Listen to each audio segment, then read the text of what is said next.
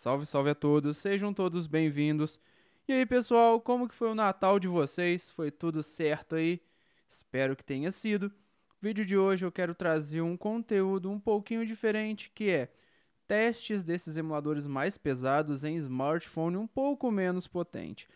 Não tão fraquinho assim.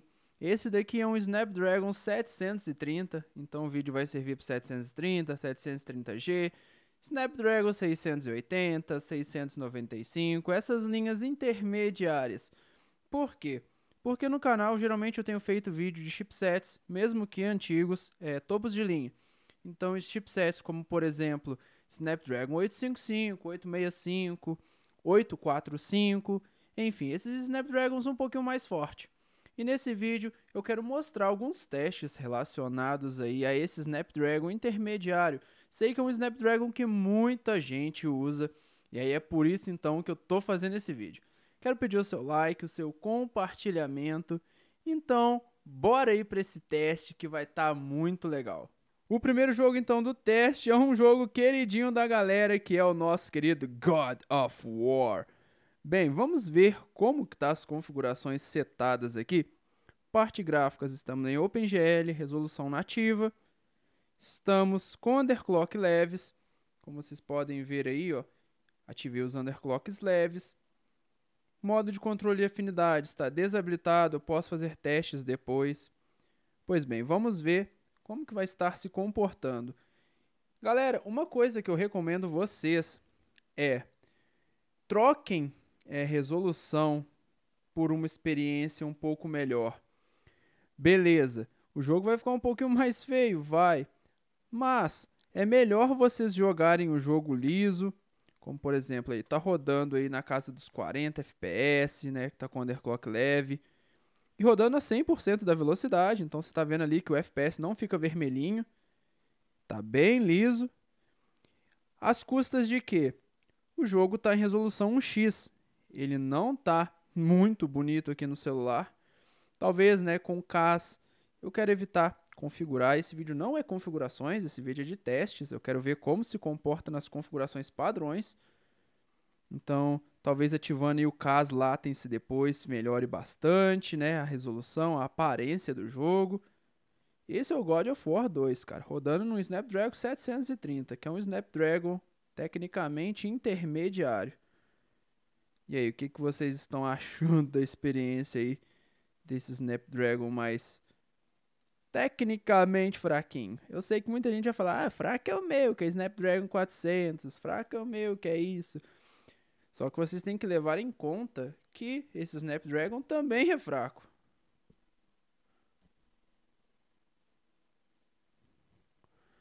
Aproximei mais aqui a tela para vocês verem melhor. Vamos lá, vamos acompanhar mais um pouquinho essa jornada do Kratos. Cleitinho é parça, então a gente joga com ele aqui um pouquinho para a gente ver como que vai estar tá se comportando. Como eu falei, ó, o jogo ele tá rodando muito bem, rodando bem lisinho. A gameplay tá super fluida. Então, não é vídeos é, de primeiras impressões, né? Eu não estou tendo a primeira impressão. Como eu falei, eu mexi ali no underclock e mexi no, na resolução, tá? Resolução no, normal. Renderizador OpenGL. Talvez a Vulkan Pode ser que melhore um pouquinho, mas a OpenGL eu acho a compatibilidade é, melhor, porque ele tem menos problemas de glitches gráficos, apesar que a OpenGL é um pouco mais pesada. Vamos ver se a gente consegue colocar pelo menos 1.25 de resolução, ou seja, 25% a mais da resolução interna. Tá, 25%, melhorou a aparência, o jogo ainda tá bonito, rodando ali 60 FPS.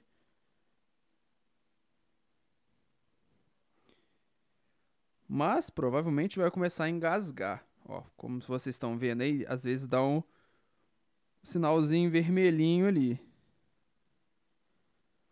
Apesar que, ó, cara, tá muito bem isso aqui, viu? Tá rodando super, super bem. Tô gostando pra caramba do que eu tô vendo, cara. Achei que ia rodar pior. E olha, God of War é um dos jogos mais pesados que tem pro Eder SX2. Então, assim, se esse jogo tá rodando bem, significa que boa parte da biblioteca do PlayStation 2 vai rodar bem. Então, jogos como, por exemplo, Final Fantasy, esses jogos mais levinhos, vão rodar super bem. E ó, 1.25x. Podemos arriscar 1.5? Vamos tentar aqui 1.5, mas eu acho que 1.5 já vai ser muita coisa. E assim, vai ser jogo a jogo. Eu sei que 1. Ah, já começou a ficar a ser o limitador já, ó. Tá vendo que ficou vermelhinho? Ó, já começou a diminuir o FPS muito.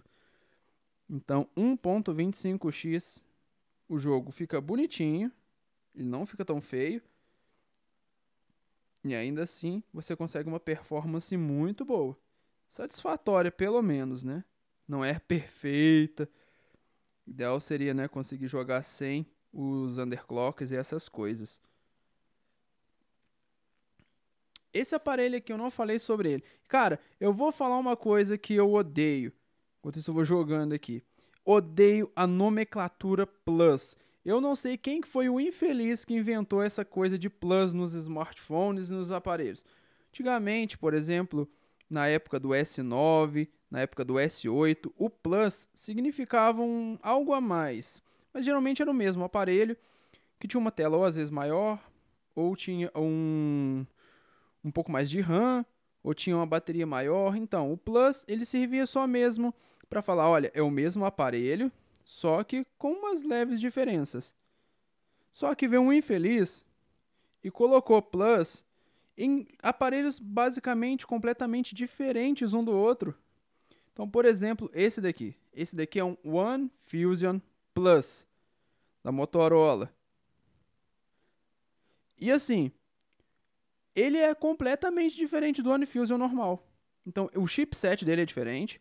Esse daqui usa um chipset Snapdragon 730, enquanto o One Fusion normal usa o 700 710. Ele tem memória RAM, acho que não é a mesma coisa, mas bateria é diferente. A câmera é diferente, que a câmera desse aqui é pop-up. Porque ela sai, ó. olha só que bacana, ele não tem câmera na frente. Ele tem uma entradinha aqui do lado que sai a câmera dele, é muito legal isso. Porque acoplado num controle fica parecendo realmente um videogame portátil. Para quem quer pegar. Ah, e João, como que você pegou esse aparelho? Quanto que foi? Já vou falar para vocês. Paguei super barato. Peguei na OLX por 500 reais. Aliás, 550, né? Opa, opa, opa, opa. Deixa eu censurar aqui. Opa, queridos melões. Não, não, não, não, não, coleguinhas. Some da tela. Nossa senhora, olha. The God of Claytons aí, só me vacalhando. Enfim, mas paguei 500 reais porque o LX tinha um cupomzinho. É, o cara tinha pedido 550, o LX tinha um cupomzinho de 50 reais de desconto aí. Primeiro jogo rodou super bem. Vamos fazer um teste então já de outro emulador, porque como vimos o God of War tá rodando legal. Vamos então de Dolphin, né? Nosso querido emulador de GameCube. Jogo que vamos testar aqui é óbvio, é claro, o Resident Evil 4. Bem, resolução do jogo está 1x. Estou usando o Dolphin for Handheld, que é aquela versão que eu disponibilizei para vocês. Vamos ver como que vai estar, tá, se vai estar tá rodando legal. O God of War me trollou ali, velho. Apareceu uns peitinhos. Não, God of War. Como eu falei, é uma boa opção para vocês, caso vocês queiram aí dar uma garimpada. Esse aparelho eu achei bem bacana. Tem bastante coisa. Snapdragon 730 é um Snapdragon bem fortinho ainda. E tá lá o nosso Resident Evil.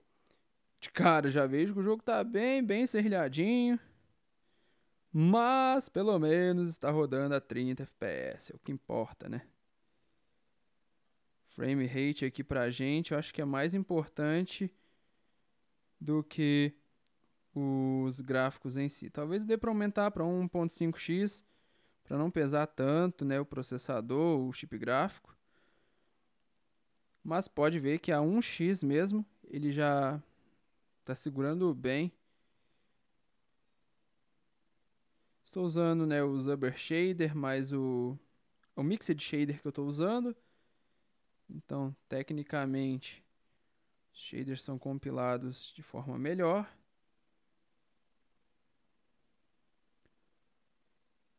E aí?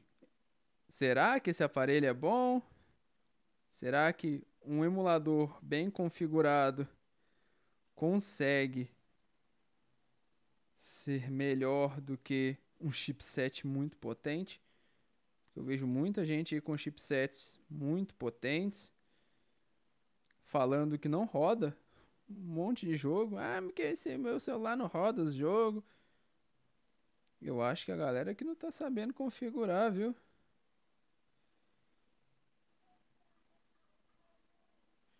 Vazar pra cá. Que isso, velho? O velho escolhe correr atrás de mim, cara. Eu nunca vi o velho fazer aquilo.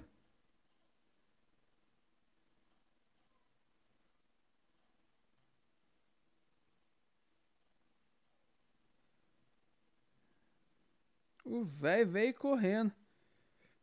E aí, rodando bem liso, viu? Rodando super de boa.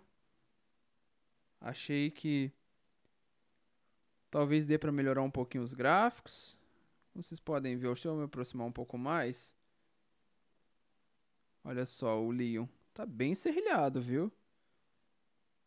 A arma, bem, bem serrilhadinho. Mas aguenta bastante. Bora então.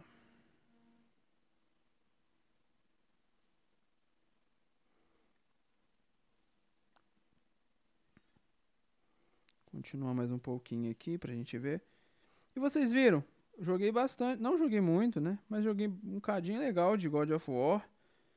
Ele não dropou o FPS, ele não tem aqueles drops muito agressivos. Ele não esquenta muito esse celular.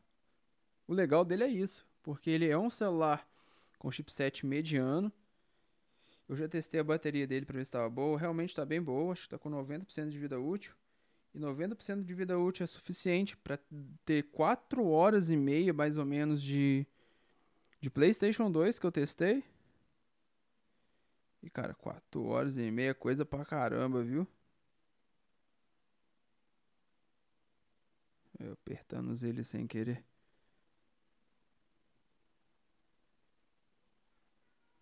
Forastero, corre. Faz os caras se explodirem ali. Vem, colega, anda rápido.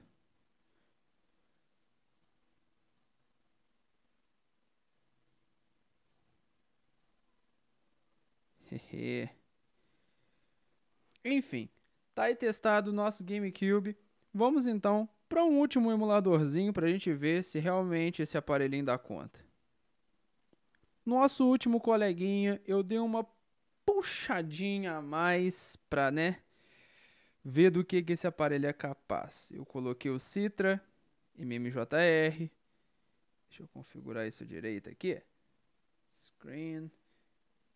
Custom Layout. Vou fazer isso aqui, ó. 3DSzinho marotinho, só pra gente terminar o vídeo. Tá bom. E eu coloquei em 2x, vocês vão ver que a qualidade de imagem vai estar tá muito bonita. Então não tem pixels estourados, nem nada do tipo. Vamos ver se o aparelho dá conta, né, de rodar em 2x. Tem muito Snapdragon 8400 aí. Que ó, aguenta não. Deixa eu ver, tá um X. Pera aí, settings. Tá um X. Vamos aumentar para 2. O jogo tá em português. Tá rodando a 60 FPS. Estou usando o shader cache. Então ele vai armazenar o shader em cachê. Eu quero ver se ele vai continuar 60 FPS lá, tipo, no mundo aberto, né? Porque não adianta nada ficar aqui 60 e lá fora ficar com a taxa de frame rate muito baixa. E agora que é o um mistério. E aí, será? E aguenta não, ó. Olha só o frame rate. Deixa eu dar um focar direito. 2x não aguenta não. 70%. Deixa eu abaixar de novo para um x, vamos ver se vai dar conta. E aí, ó, 100% da velocidade. Então, esse daqui é um aparelho, é um chipset para quem quer jogar. Ele não é um chipset para aquela pessoa que quer a experiência máxima da emulação, que eu quero fazer o melhor portátil do universo. Não é para esse tipo de pessoa. Esse chipset ele é limitado, então é, para jogos de PlayStation 2 vai ter que rodar a maioria em 1x, máximo 1.25, ou seja, 25% a mais de, de pixels só, tipo 25% a mais de beleza. Tem que salvar.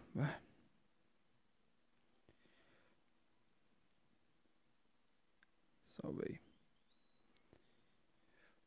Mas mesmo assim, vai ter jogos que você vai ter que baixar para 1x no PlayStation 2. Exemplo, Devil May Cry, testei em 1.25, não importa, eu começo a atacar underclock, o jogo fica pior. Tipo, fica com os FPS ainda bugado. Eu preferi deixar sem underclock no, nenhum. Olha só que legal. O Devil May Cry, ele roda sem underclock nenhum, mas em 1x. Se eu colocar tipo 1.25x, eu já preciso ficar colocando underclocks. E aí já começa, e mesmo assim fica engasgando. Então é melhor deixar liso, 1x, qualidade mais feinha, do que ficar quebrando a cabeça. Chipset, para quem tá, né, com a grana aí certa forma limitada, não tem recursos infinitos para ficar gastando com o celular para jogar. Snapdragon 730, 730G são bem bem fortinhos. E acha esses aparelhos usados num preço bacana, viu? Esse daqui, como eu já falei, é o One Fusion Plus. Tem o Mi 9T, que ele também tem a câmera saltada assim. E aí ele não tem o furinho da câmera, ó. Dá pra fazer portáteis com isso. Você pega isso daqui, eu vou ligar para vocês verem rapidinho no meu GameSearch X2 Pro, só para vocês verem como que fica. Olha só. Fica parecendo com um portátil. Como ele não tem ó, câmera na frente, fica bem um estilão portátil. Fica bacana, gostei. É um aparelho que eu pretendo trazer bastante conteúdo. Se você tirar, por exemplo, o layout da tela dele aí, ó. Edit buttons, não, peraí. Deixa eu mudar a transparência aqui. Pronto. Aí, ó. Virou um portátil. Mas é isso. O vídeo então vai ficando por aqui. Esse foi o teste de desempenho em emuladores um pouquinho mais pesados do Snapdragon 730G. Ainda vou fazer um vídeo, né, testando muita coisa. Pretendo trazer um monte de conteúdo. Esse foi um vídeo inicial para vocês verem aí, caso vocês estejam em dúvida em, em pegar um Snapdragon desse, se valeria a pena. E aí vai ficar a cargo de cada um. Pessoas diferentes vão ter necessidades diferentes. Para esse aparelho aqui, para jogar em 1x, para galera que quer só jogar, tá com a grana curta. Ah, João, achei um usado por 500 reais. Cara, se é o dinheiro que você tem, você não tem como investir no melhor e quer jogar, pode ir feliz. Vai jogar muita coisa. 1x mesmo, não precisa de... Ah, eu quero jogar em 4K. Não, joga em 1x, é só para jogar. Você vai ter experiência de jogar.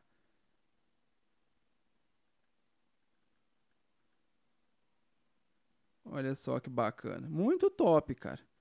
E roda super bem, viu?